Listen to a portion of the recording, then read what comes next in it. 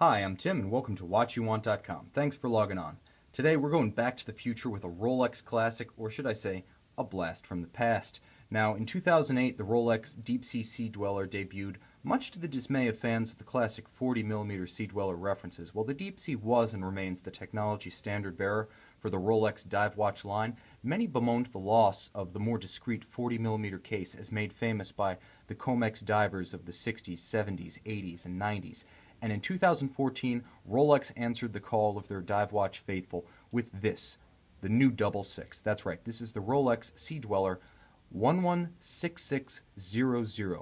This watch, which is rated to 4,000 feet or 1,220 meters, takes the aesthetic of the old 16600, the 40 millimeter Sea Dweller, and it transposes it into a case that is modern, features all the new toys, the refinements that have come into play in the Rolex line since the demise of the last 40, and it creates a watch that is, by many accounts, almost perfect. Now let's go into some of the advantages of this one over its predecessor and over the Deep Sea. So first and foremost, you can see that this watch includes all of the latest Rolex toys. Debuted at Basel 2014, this watch takes what's known as the super case, the broad-shouldered case that first debuted on the GMT of 2005, the GMT Master 2, and it takes that maxi dial that we've seen on recent Submariners with the larger indexes, the larger white gold hands, the larger white gold applied triangles, rectangles, and circle indexes.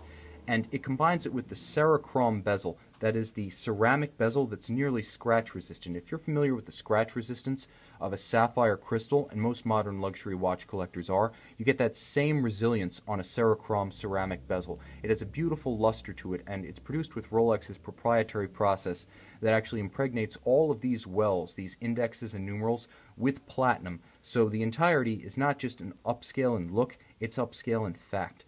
Now, what the, four, the 40 millimeter does is it takes most of the resilience of the deep sea and it packages it into a more manageable size. I'm going to show you on my wrist where this watch gains its advantage over the 44 millimeter deep sea. Now you can see right here, the 40 wears beautifully on a six and a third inch wrist. So my wrist is about average, maybe a little bit below average in size, but the watch sits flush, it sits flat, it's very comfortable. And you'll note that with the absence of the Cyclops Eye magnifier over the date, it's even a little bit cleaner in look than the six digit reference Submariner.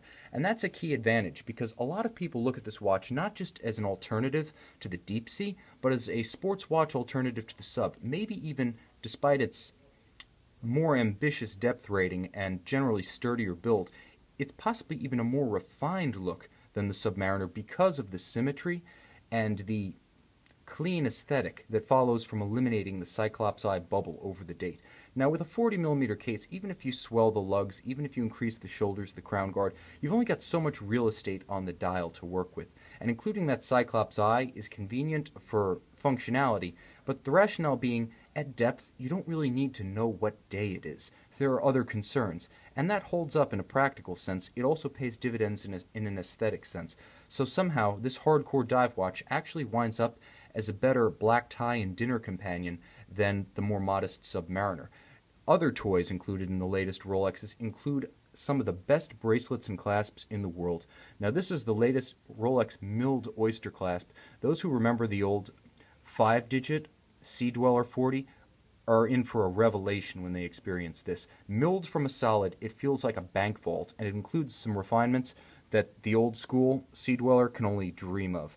First of all, there's glide lock, this ability to adjust the bracelet size up to 20 millimeters in 2 millimeter increments without tools. But there's also this flip lock, ah, flip lock dive extension that you can use to wear the watch either over a wetsuit or a winter coat. In fact, if you're in New Hampshire, if you're in the Midwest, if you're getting snowed in, or if you're in Switzerland, where I hear some parts of the country got 24 inches of snow over the weekend, you can really expand this out with a ton of extra size, tool free, to fit over even the thickest winter clothes. So that tough sea dweller heritage pays dividends on the, uh, the turf as well as the surf, so to speak. Now, the watch is a COSC certified chronometer, and the new Rolex innovations, the stuff that's come about since the last Sea Dweller, they continue inside the case where the Rolex Parachrom Blue hairspring, anti magnetic, shock resistant, more thermally stable, helps this watch, as with all Rolex automatics, to earn a COSC chronometer rating. Very tough. It has a power reserve of 50 hours, which is above the industry average of 42. So Rolex gives you a little bit more in there as well. Now you can't see it here because we're not in the dark, but this includes Rolex's latest blue Chromalight lume. I sometimes get questions about the lume on these Rolexes. This one glows blue at nighttime.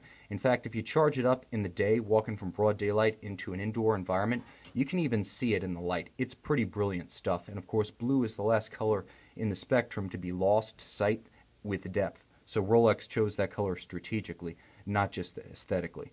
This watch, which is available from watchuwant.com, this is the new 116600 Sea Dweller 40 includes all Rolex boxes, papers, accessories, everything including the factory hang tag and polishing cloth is included with this watch.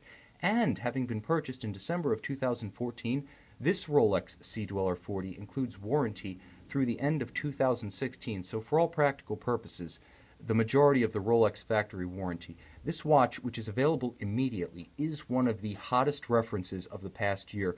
Waiting lists continue to stretch to infinity, and Watchuwant.com is proud to be able to offer this example with everything you would get at the Rolex factory dealer except for the weight. So if you're into the Sea Dweller, if you love the history of the Comex industrial commercial divers, the story of Rolex developing that first helium release valve for the Comex personnel in 1967 so they wouldn't blow out their crystals when they ascended from depth, if you love the story of Rolex dive watches, period, from the first oysters of the 1930s to the submariners of the 50s to the sea dwellers of the 60s to the present. This is the latest installment in that legacy and one of the absolute hottest Rolex watches to come along in years.